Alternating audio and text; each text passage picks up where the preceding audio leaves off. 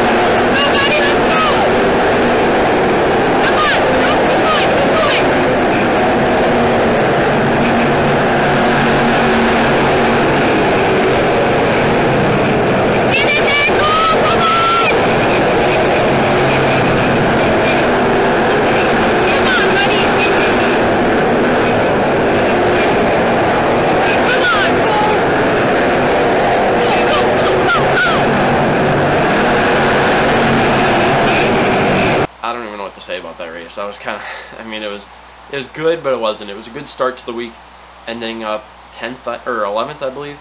Uh, so we didn't make the transfer, but like I said, it was a good starting spot because we, the cars that beat us were super, super fast cars.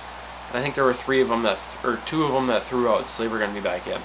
So the nice part about this is that they took the eight fastest cars and took them out. So then we theoretically, I mean, we have a better shot with the faster cars being out.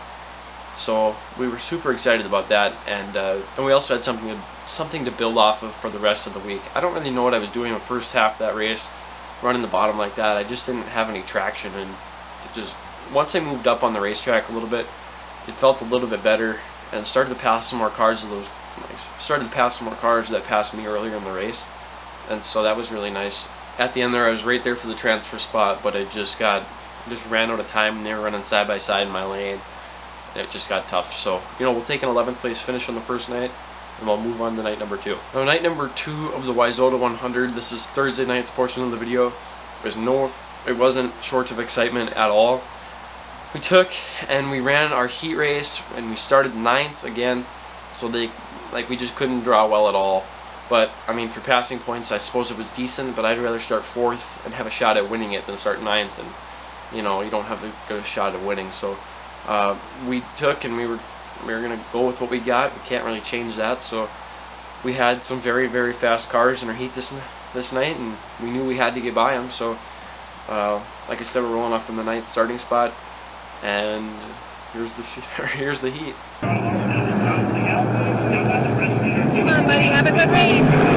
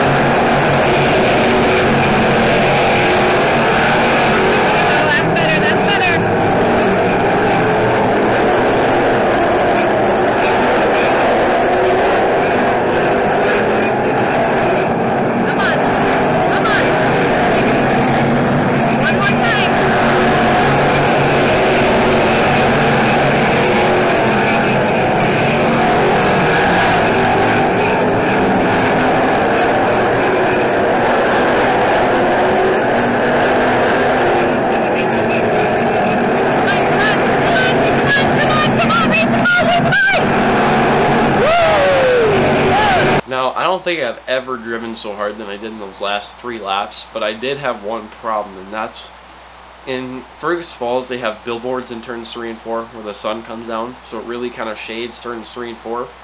And with the races starting at like 5 or something, the sun still had a lot of time.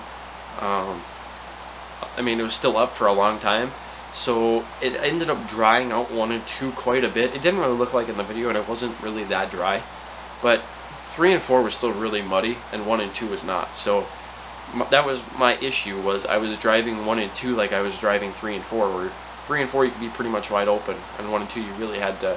I mean, you really had to be aware of what you were doing and be careful. So that was my issue. But like I said, I don't think I've ever driven so hard in three and four. I made up a lot of ground, and it was that was super super awesome for us. And we're like, okay, we really really do have a chance now because the cars that were in front of us are no slouches, and I mean we knew that, but I mean, going ninth to fifth at the WISSOTA 100 heat race, that we'll take that. So we're gonna we barely made the feature this night though, rolling off from the 21st starting position, I believe. We knew that there was a lot of good cars in front of us rolling off from the 21st starting position and needing to get to eighth.